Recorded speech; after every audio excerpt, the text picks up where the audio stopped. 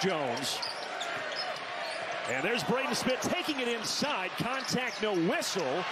That ball never hit the rim. But they still got a three out of it. Lance Jones just before the horn sounded.